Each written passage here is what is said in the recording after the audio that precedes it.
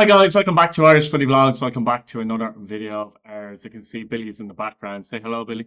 Hello. This is your League of Ireland prediction video for 2024, and this one was very difficult. The most difficult video I've had to do in terms of predicting the league and the Premier Division since I started this channel. Last year I got one wrong. Dundalk and Shelbourne were flipped. I'm going to get more wrong this year. It's a very intriguing league this year. It's very difficult to predict who's going to finish where, particularly in those the bottom half end of the table. And I've looked through everything with a fine tooth comb, looked through every squad, thought about everything you can possibly imagine to come to the conclusion with this table, and I'm still not sure. It's very, very difficult. There's going to be surprises. A good side is going to finish bottom, for example. Let's get into it. Number 10, I've decided to go for Galway United, haven't thought about it, haven't thought about it a lot. Again, a good side, a very, very good side. Um, romped the first division last year, very physical side, very good at set pieces, got a brilliant management team in Caulfield and Horgan, so much experience there. Brought in experience with the likes of Gary Buckley, uh, Carl O'Sullivan, and players like that. Patrick Hickey was a good sign, I think. Genoa SLA is one to watch too. Tom Costello. And they haven't really lost anyone, have they? That you would say, okay, there's a loss, you know, the experience with, with Brendan Clarke and players like that. Like, whoever finishes bottom of this league this season is going to be very, very unlucky. But just when I compared them to the other sides, not with a lot of confidence, there, I must say, I have them bottom. They're going to be very difficult to beat as well at Eamonn Deacy Park. This is this is going to be very close at the bottom end of the table, and I don't think we'll know who's going to finish bottom. I'd be very surprised until the last couple of weeks of the season. But Galway will certainly battle and give it their go a go. But just in terms of individual players and match winners, maybe they just have a little less quality than the other sides. And they've got players like David Hurley, who, if he can transform some of that form for the first division to the Premier Division, would be fantastic. But there's question marks whether some of these players can, I guess. Although I think they looked like a Premier Division team in the first division last year. But um, going to go for Galway United in 10th place. Now, ninth. Ninth. Now this was a funny one to be honest with you because um at one stage I had this team in fifth, for example, and now I have them ninth. But that just shows that just shows the um the difficulty in in in going through this. And I've gone for Sligo Rovers to finish eighth last year. Um the league is stronger this year. I think they have strengthened. This is the fucking funny thing. I think they have strengthened their side. Um they've lost a lot of players they wanted to lose. A lot of players that um, signed that didn't really fit at the club, in my opinion, last year gone. They've added a bit more Premier Division or League of Ireland experience to the ranks, the likes of J.R. Uh, Wilson, Simon Power, Connor Malley, um, and Ed McGinty, of course, is back as well. And that's one of the main reasons why I was thinking they could finish fifth, sixth, and they could easily finish there. But I just, again, looked at the other teams. I think one of the big things with Sligo they might lack compared to the teams that picked ahead of them is goals. Not sure the goals are going to come from uh, Owen Elding is 17. I think he's excellent potential, but do you need to put pressure on him that, you know, depending how well he does or not, might be where to finish. Like, like that's that's that's difficult to ask from a 17 year old, to be fair. Um, but they have some good players. Like Niall Morahan, I think is a good player. Maybe didn't have the best of seasons last season, etc. And as I said, they've added quality to their ranks. A couple of loans in like Charlie Wickett and Ollie Denham, um, but they might be gone this summer. Uh, Ellis Chapman, another one, but sorry, Charlie Wickett actually wasn't isn't a loanee. He's actually signed, but uh, Ellis Chapman was, but he's been doing well in pre-season. And it's so difficult. It's so difficult because I think they look better than last year. Yet I have them ninth in the league. Um, they could easily finish higher. They could easily finish higher. On to eighth position in the league, and I have again. I'm gonna get crucified for this, but again, good feeling, thoughts, etc., etc. I've gone for Dundalk. I've gone for Dundalk, and um, more so. It's the unknowns with Dundalk. A lot of players in on loan. They've three on loan at the moment. Um, I think they're going to have four on loan soon. Some of their signs look uninspiring or chancy, let's say. Um, again, Steve O'Donnell's kind of targeted the Scottish market more, hasn't he? And he's brought in players like Robbie Mahon back from Motherwell, was with Bohs at younger age, like some Ross Munro from Ross County, Jamie Gullan from Raith Rovers, so they're going to be pinning their hat on. Uh, Kieran McGuckin from Rotherham, but I believe either he's Scottish or played in Scotland, the same with Scott High. And Zach Brad- Bradshaw, the recent one alone from uh, Lincoln, Dara Keane, for example, is the only player that brought in uh, from the league to the club from UCD. And they've lost a lot of experience, like so Dan Kelly, you know, Keith Ward, John Martin, Robbie Robbie McCourt, Darrell Leahy, Pat Hoban, clearly, and Greg Sloggett. And I just think um, there's a bit of pressure on them this season, Dundalk, in that regard, and they're going to hope that some of these players, more of these players that we don't really know, let's be honest, do better than, you know, more than do better than not, essentially, because um, you know, it could be a struggle for them. Like, are they willing to battle if they're near the bottom of the league, or for example, as well? That's the big question. Goalkeeper Shepherd has gone too, so for me, they've lost a lot of key players. Actually, I think they've lost a lot of key players, and um, you know, again, a team that gone well could finish in around fifth, but um, yeah, for now I have them eight. I think some of the most experienced players like Benson and Mountney, it's hard to keep them on the pitch, and I think that's a big, big thing for them too. And again, it's difficult for me to see a lot of goals in the team. Um, they're pinning their hat on Jamie Gullan. He could do well, who knows, but very hard to replace a presence like Pat Hoban. But uh, Dundalk might be a surprise to many. Eighth in the league. Seventh, I've gone for, and I still think by the time this video goes out, they might sign one or two more in potentially. Uh, I've gone for Waterford FC. Again, they could finish six, seven. They could finish bottom. You know that kind of way. You could flip Waterford and Galway. It's so difficult this year. Um, but I like the way they've brought in a lot of League of Ireland experienced players, players that have obviously played in the league. Uh, last year they did well to get promotion. I think Galway were more of a team last year. I think Waterford had more individuals. Um, those individuals might, in my opinion, um, help you through in the Premier Division a little bit better. I think that you've got players who can do something, you know, on the spur of a moment. For example, like you know Romeo, for example, a seventeen-year-old player, he's got a bit of quality about him. They've brought in obviously players like uh, Barry Bagley's come back on loan. Patrick Amond's going could be a big one from Bromley too. Um, with the experience he has, can they get the best out of him? Um, can they use him as a poacher and can he get the goals? If he can, then like there is goals in their team. Connor Parsons, another one who's capable of scoring goals of a solid midfield, like so Bagley in particular, McDonald. Uh, big year for Ben McCormick though, in my opinion. Um, brought in a couple of uh, Polish players. Radkowski came in from uh, from Bohs, obviously, and a, a young ringer winger called Skrzynski. I, I forget it, forget about it. But uh, keep an eye on him as well. I just think there's a young, youth, vibrant feel about Waterford. May need to improve at the back a little bit. We're not talking about winning leagues or qualifying for Europe here. Again, they'd probably be happy with staying up generally. Um, but a couple of loans in as well. Be interested to see how they go too. Uh, did they lose anyone that is key? Just Ronan Coughlan, really. Um, but potentially replace them decently. Let's say with Pádraig Amond, they probably think down there that they, you know, what else could they've done? And say you vibrant team, and then you've got Amond there as well. Uh, defensively, I think they might be the strongest. That's the only thing, but I do see goals in their team, and uh, for me, that's a massive thing. So uh, Waterford FC in seventh place. Now in sixth place, I've gone for a side that um, some people would say are overachieving if they finish there this season because it's the smallest budget in the league.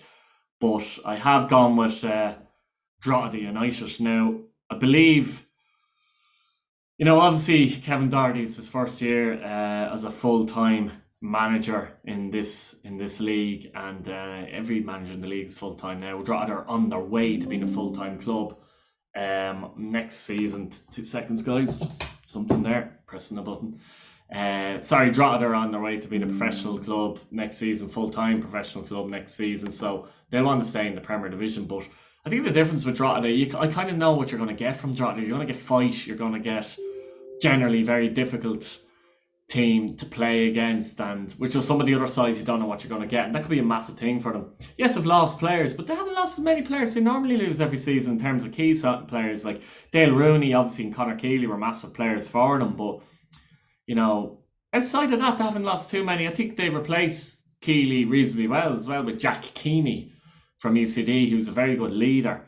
Um, Frantz Pierrot, I think there's goals in the team as well. Pierrot, um, not just with goals, but um, he'll cause problems up front and open things up for others. Warren Davies is a player to watch. I think he could do well this season. Killian Callis has come in, so good good options in attack there. I think um, a couple of loanees, of course, from Lincoln too. Oisin Gallagher and Hayden Cann have come in um, on loan to the club. So, you know, with Drogheda, you know, I'm looking at them and I'm kind of going, yeah, there's a bit of a, uh, you know, it's the fight togetherness that they definitely bring to the table. I think they brought in some good leaders. Dave Webster is another good leader they've brought in. And I think they'll carry that fight throughout the season. They could, out of the teams that be, when I say these teams, six to ten, nearly any could finish bottom. The one I feel more confident with is actually not finishing bottom is Drogheda.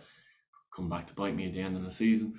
But I just believe that you know, they have signed well, um, settled club, settled manager, haven't lost too many big players either. So for me, Drogheda a very good chance to finish the sixth in the league. Now fifth is Billy's team. I have Bohemians. Um, and a lot of people are saying Bohemians are going to struggle this season. Maybe they will, but I still think they've enough about them to finish above most of these teams I've just named. Um, because they still have a core group of players. Yes, Afolabi is gone, but he was always going to go um, wasn't he, this season? So, like some of the players are brought in, okay, Dale Rooney, I think, is a good player. I think he improves. Some Cornwall is better than the defenders they've had. I don't think he's as good as people say he is, but he's better than the defenders they've had. Brings a bit of leadership there to the back line too. The unknowns, Martin Miller, Michael Loihander, and Sten Rancourt, for example, and the Polish keeper they've recently brought in is obviously a problem and it's a bit panicky in that. And I don't care if they have 100 caps for Estonia. We've seen players from Estonia with multiple caps before come over and struggle in this league, uh, including at the club uh, I support, St. Patrick's Athletic. So um, I wouldn't be swayed by that, to be honest with you. But some of the players have lost, as I said, who have they lost really? Afolabi. Yes, they could have done more. Yes, they could have maybe made their made signs earlier. That's something that you should be looking to do. But when you look at our squad, it's still quite, it's actually quite settled overall. It mightn't be the biggest squad, but they've got young players there that can come in and add to that too. Uh, it's not point adding players for sake of adding players, you know. So, you know, they still have James Clark and McManus and you know players like that, and uh, McDonald and Rooney and Grant could have a better season, haven't had a pre-season. Dylan Connolly, um, obviously up front is a question mark who's going to play there. But Afolabi, as I said, was always going to leave the club. Um, but as I said, I, I still don't think they'll finish low, much lower than fifth. I'd say sixth at the most. I mean, I don't think they'll be in any kind of relegation battle or anything like that. I doubt they'll be in a European race. Um, they might be early on in the season, like you know, but as the season goes on.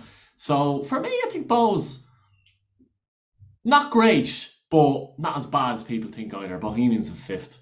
Fourth have gone for Shelbourne, a team that finished fourth last year. Kind of finished fourth with a late flurry last year, didn't they? And uh, Jack Moylan's goals really helped them a lot. Now, Jack Moylan has left the club, and Harry Wood obviously isn't there second, from the second half of the season. Luke Byrne, unfortunately, had to retire. So they have lost some good players. Obviously, they have, but I think it's weird. Their starting 11 might be as strong as last year, but their squad might be stronger. I think there's a bit of depth there now. If they can keep Liam Burt fit, it's massive. Matty Smith needs to be fit, fit, fit too, excuse me. Um, John Martin is useful off the bench, can score goals. Will Jarvis getting him back, and then the experience of likes of Keith Ward, Sean Gannon, and Dean Williams. So they've more strings to their bow up front. I think they've got. If you look at the forward positions, Matty Smith, Sean Boyd, uh, Liam Burt, uh, John Martin, uh, Dean Williams, uh, and Matt. I think I named Matty Smith there already, didn't I? Yeah, but um, there's more balanced goals there than just Jack Moylan's goals, let's say, put it that way. And I think they've really strengthened in that area. They're going to be tough to beat.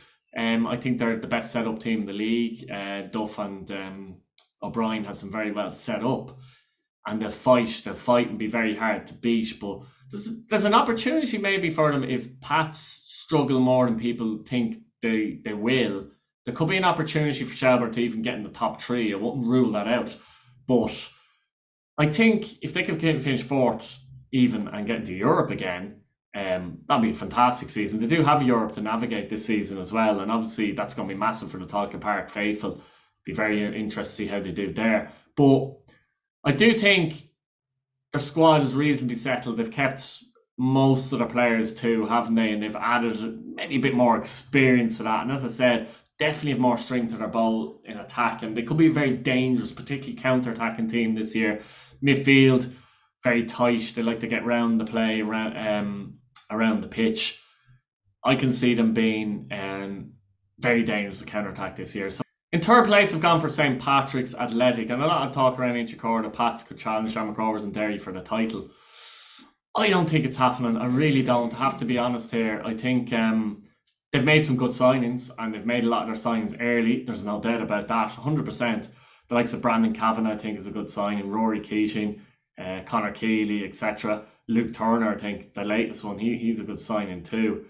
Um, but there's a couple of question marks. I think they lost arguably the best goalkeeper in the league last year when he when he played. Um, Dean Lyness, very hard to replace a goalkeeper like that. Um, I'd have question marks over the young goalkeepers alone. Marcelo from Liverpool looks a little bit soft for me personally. Uh, could be wrong. We'll see what happens. But um, is he likely to be as good as uh, Lyness? I highly doubt it. And it's that, you know, organisation at the back with Lyness and. They're missing. Sam Curtis has left. Adam Murphy has left.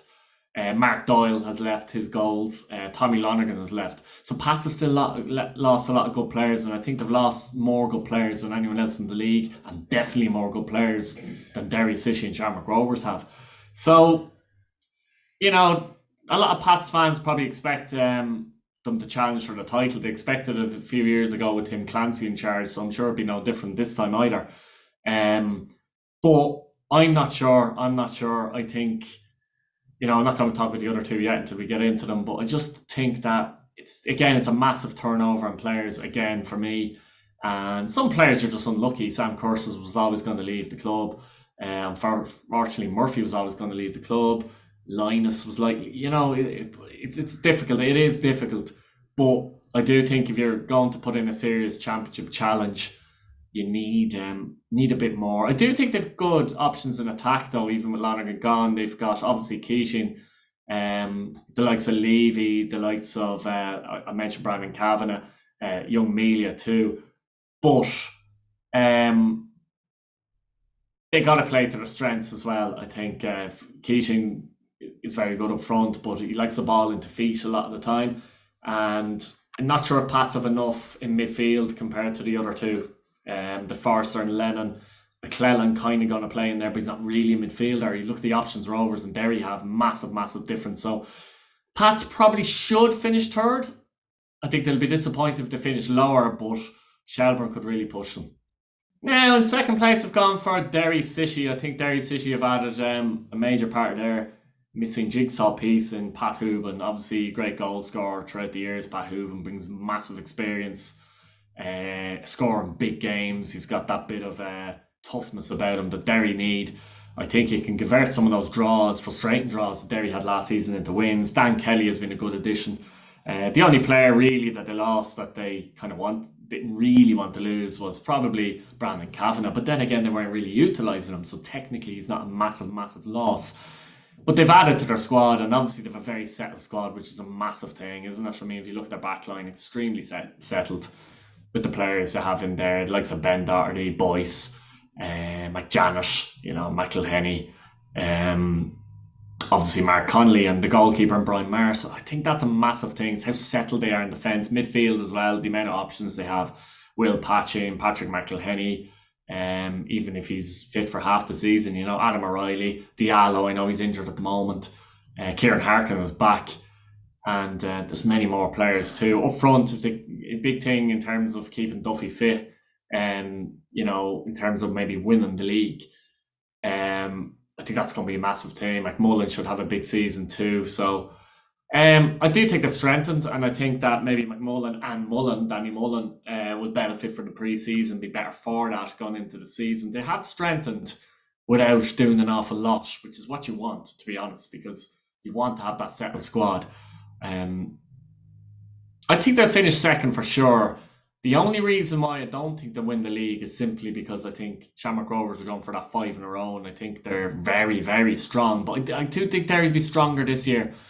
Um, there might be a bit of a gap potentially between the top two and the rest, in my opinion. It'd be interesting to see. But with Derry City, there's definitely obviously reasons to be optimistic about the season. And I don't know if they were to finish second, but Rovers were to um, be brilliant, but Derry were to finish second. I think Derry fans wouldn't be too disappointed with that. The disappointment last year was the fact that Rovers weren't brilliant, you know, and Derry didn't really. You felt like they could have taken advantage and they didn't. But I do think that the players to do they'll certainly take advantage this year if Rovers aren't on it. But um, I'll get into them now because uh, champions. I said Shamrock Rovers going to win the championship for the last four years. They have, and I'm saying it again. There was a, a stage earlier in pre-season where I thought hmm, will they have the hunger? Um, will they have the desire? Will they have the players? But the more went on and on, the more I, I stuck with Shamrock Rovers, and just seems like when they bring in players, it's a seamless transition. You know, I think Trevor Clarke signed permanently is a massive, massive signing. McEneff coming back, massive. Marcus Poom coming back, massive. Um, the addition of Darren Burns will give them something else too. Josh Honohan, I think too is a good sign. And again, they haven't who's they lost. The only one they've lost really, really, in terms of impact on the first team squad is Alan Mannus. And to be honest, Mannus was nearly gone last year anyway with the injuries. I thought Pöhls came in last year and I thought he'd improved last year. So they've strengthened, and I think you can see a bit more hunger from Rovers this year too. I think with some of the type of players they brought in, and with the options they have, it's just incredible the options they have. The midfield options, it's ridiculous. Gary O'Neill, Jack Byrne, uh, Aaron McEneff, you can play higher up, higher up as well. Richie Towell, uh, Marcus Poom. Am I missing anyone? I'm sure I am. Um, because of so many options, you always forget when you're listing them out. But the wing back position as well, Neil Farrugia, Trevor Clarke, Lee Grace, Pico Lopez at the back. Up front, Gaffney, Johnny Kenny will be an addition to them, I think, this year too. I think he'll score more goals this year. Um, and Dar Burns is added to that. I just think all round they're far too strong. They're hungry. Um, I think they feel like they weren't that great last year and they're out to prove a point, to be honest you. I really believe that. They want to be the first team to ever win five in a row, and I think they're going to be the first team to ever five in a row. Uh, potentially they win it easily. Potentially they win it easily. Um, but I think Derry will go with them for a good while anyway. But you can't be but impressed um, with the squad that they've assembled. And, you know, I think, you know, how are they not going to win it? You know, even in, in an injury crisis, they can bring in so many players. It's unbelievable. Uh, they've a young player, Noonan, to watch this, or Coonan, sorry, to watch this season as well, who's um, a very, very good young player. So it's just very difficult to see them not win the league. They know how to play the game, if you like, in terms of it's a marathon, it's not a sprint. They can rotate. If someone has a knock, they just don't play. And the next player comes in and um, and just seamlessly comes into the side. So for me, Shamrock Rovers champions. Um, overall, it's probably the one thing I'm sure of actually uh, doing this video. But overall, let me know what you think in the comments, guys. Um, give us your top 10. It's very difficult to predict, isn't it? Give us your top 10. I'm sure nearly every person would have a different top 10. I'm nearly sure of it. Let me know what you think. Fan of any of the clubs in the league. Leave a comment, as I said. Subscribe to the channel. What? And don't forget to press that notifica- notification button for more videos. Would you take fifth for both? Um, yes, any day of the week. Oh, interesting. See you later, guys. Thanks for watching.